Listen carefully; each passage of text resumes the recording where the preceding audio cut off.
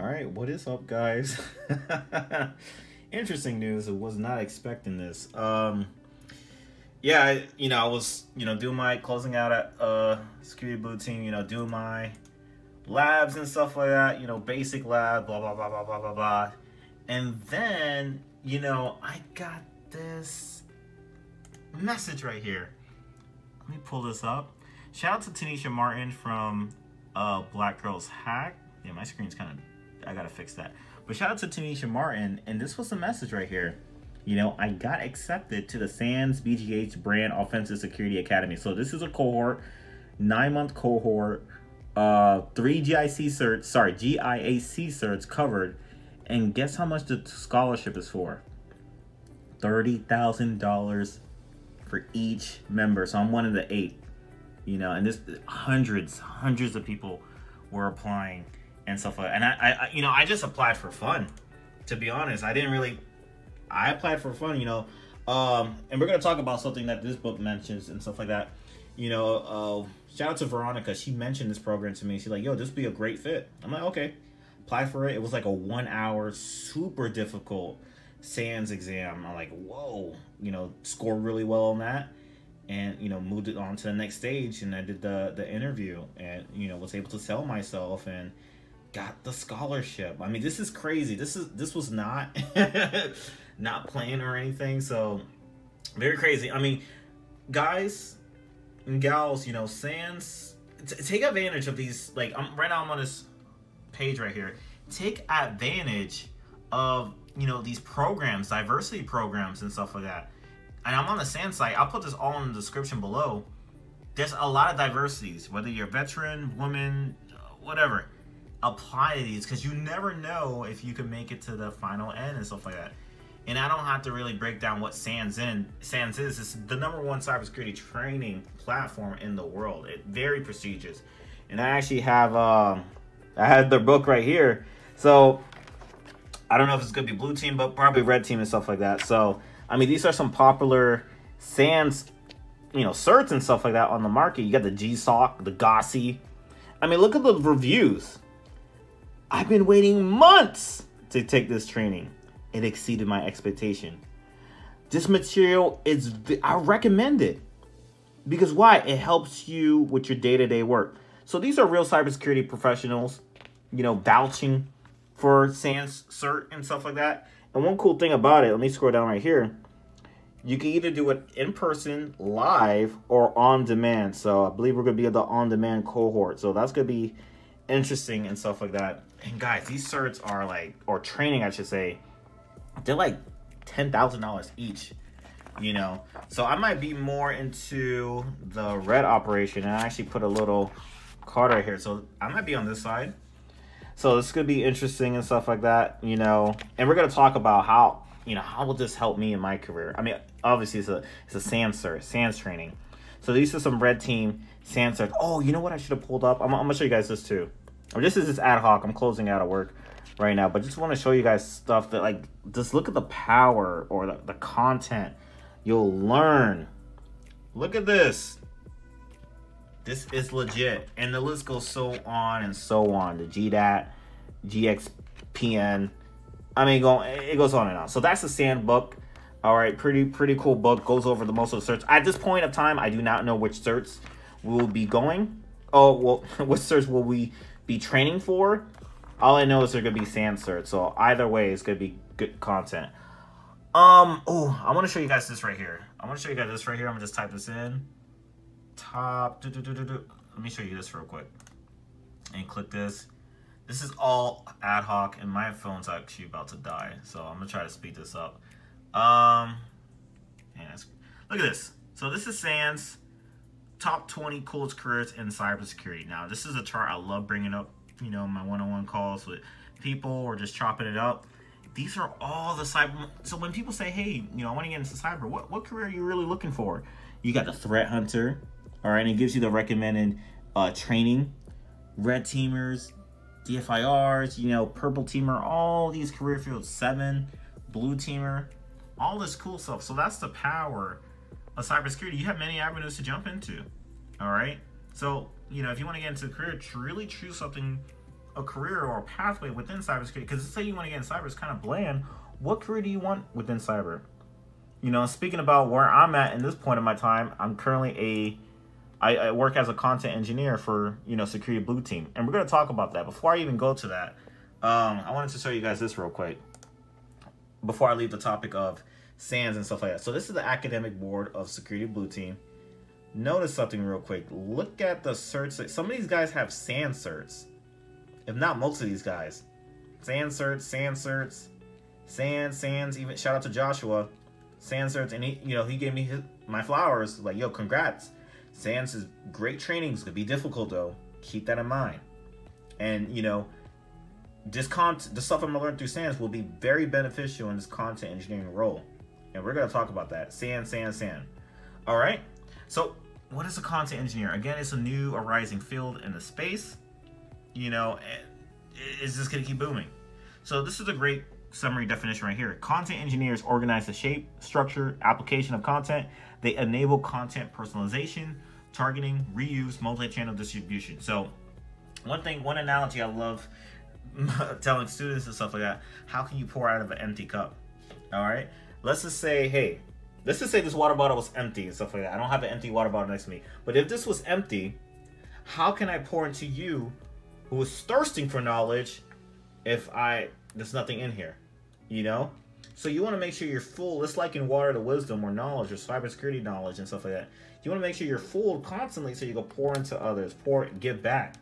And especially as a content engineer, you know, not only am I creating content and stuff like that, I'm creating content in labs to teach students and stuff like that.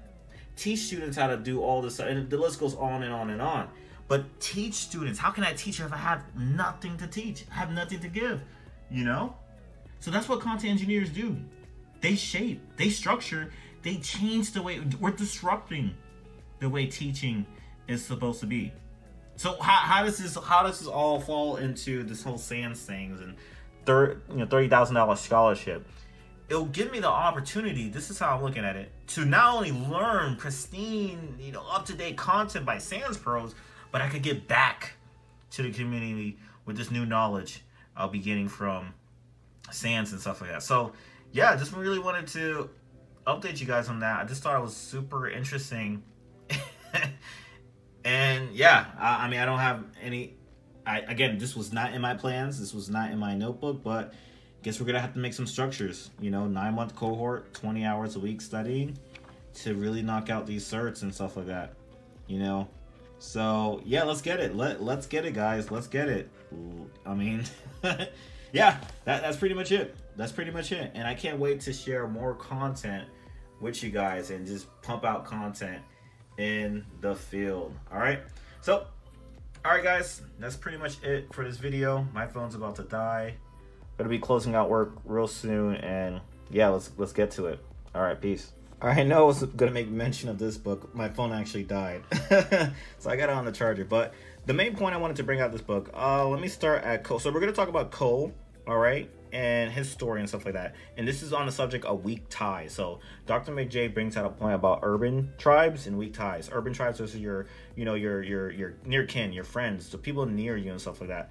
You know, compared to weak ties, strangers and stuff like that. And she brings out the, the theory that, you know, weak ties, and she brings out facts too, they're more beneficial to your career and to your job hunt and to leveling up, believe it or not. I mean, think about it, you know, can your brother, can your sister, can your mom help you get in cybersecurity right now? Can she can you can she update you on the market? Can she throw in a good word? Mm, probably not, but weak ties, people in the field, whether these are your professors, your your peers, your classmates, they could possibly help you get into the field. But no, I want to bring out this point about Cole. We're gonna read the story of Cole real quick. All right. Now Cole, young 20 year old dude. All right. You know, just struggling in life, just not really taking. You know, he's not taking his career seriously. You know, look at this. Let me let me see right here. Uh, we're gonna start right here. Cole started to think more aspirationally. He eyed posting for a good tech job at a high profile startup, but he felt his resume was now too shabby to apply. No, this is all of us right now. Cole is us. All right, you're looking for a little tech job, little IT job. Hey, I want to get in cybersecurity. But look, his resume was too shabby to apply. He didn't feel like his resume was on par and stuff like that. Why? Because he didn't have a lot to put on his resume. He didn't have a lot to offer to the market. But look how his story changed As luck would have it, and it's often luck, Cole remembered that an old friend, hint weak ties, from high school, someone he bumped into about once every year or two, worked at a startup. He got in touch, and this friend put in a good word to HR. Guys, this is networking. This is this is reaching out. Use your network, reach out, because you never know what opportunities could arise from that. The scholarship I got was from um, Victoria. Shout out to Victoria. She's a member in the chat, and she DM'd me about, hey, you should look into it. I know you're interested in red teaming and cybersecurity. That changed it. And look, I was able to get the scholarship. But if I would have never, um, I never would have applied for it anyway because I never even looked for it. But she gave me that reach and she gave me that that visibility. I'm like, oh shoot, okay, I'll look into it. And bam, we're here now. All right, let's read on. He's got in touch and his friend put in a good word to HR. After a handful of interviews with different people in the company, Cole was offered the position. The hiring manager told Cole he had been chosen for three reasons. Pay attention to these three reasons. His engineering degree. Guys, get your degrees. If you can, just get a degree. Uh, get a degree. Make sure it's a great major. Computer science, IT, engineering. Get a degree and stuff like that. Without debt. I mean, we, we see the success with WGU and stuff like that. If you can't get a degree, go for it. If not, hey, what it is what it is. All right. Uh, what else? What else? He knew how to work hard on technical projects. Yep, his personality seemed like a good fit. Now, I know there's a common trope in the IT realm. Oh, God, these IT dudes are laying their nerves. They don't know how to talk. They're, oh, my God, they're in the shell. Guys, get a personality. You know, we got to stop speaking in binaries, ones and zeros. What hobbies do you like? What, what things do you do outside of work? How, you know, what do you like? What do you like eating? Have a personality and stuff like because that, that will speak volumes. You'd be surprised. It'll speak volumes. All right? All right, let's go on. Let's go on. And the 20 something who vouched for him was well liked in the company. Guys, it goes back to weak ties. Think about this. Think about your favorite cybersecurity YouTuber. Think about if he reposted your content on LinkedIn or gave you a shout out on LinkedIn. Keep in mind, you guys are not close. You guys probably never spoke to each other in your life. He's a weak, they're a weak tie to you. Think about the opportunities that could arise. Think about this. Let's say Elon Musk said, yo, dude, this dude Malik, beast cybersecurity dude. Like you guys gotta check out his profile. You gotta how much traffic will be flooded to my page off of that one post on LinkedIn or Twitter. And, and look how look how it changed Cole's life. That one weak tie. Cause why? The the guy was well liked in the company. This one break, oh guys, all you need is one break. Now to my fellow peers in the cohort, the other seven, this one break could change your life you're getting thirty thousand dollars a thirty thousand dollars scholarship to take SANS training. You know how prestigious that is? That's gonna change your life. That's gonna that's that one break you were looking for. Alright? Uh let's read on. If you uh this one break radically alters Cole's career path. He learned software development at a dot com on a leading edge, and a few years later he moved up as a director of development at another startup because by then, the identity capital he gained could speak for itself. Nearly 10 years later, Cole and Betsy are married. She runs a gallery co-op, and he's a CIO, Chief Information Officer. Now, Betsy, she was, um, I'm not gonna go too into her story. It's very similar, but uh, Cole attended like a little girl's birthday party, and Betsy attended that party as well at the same time, and they managed to link. So again, those weak ties. That little girl invited both of those two people to her birthday party, and look, they linked up and it became a married couple. But that's the reason I wanted to bring out the story and stuff like that. I don't want to make the video too long. Weak ties will will change your life, guys. These opportunities. Always look out for opportunities. Check the market. Check what people are looking. Hey, you should check this out. Check this out. Check. Go ahead, give it a shot. And what's the worst case scenario? You waste a couple minutes, but at least you tried. At least you tried. Now, yep, that, that's pretty much it for the video. Uh, super stoked and looking forward to get back to the community with this newfound knowledge in this cohort. All right, guys, you guys have a good one and take care.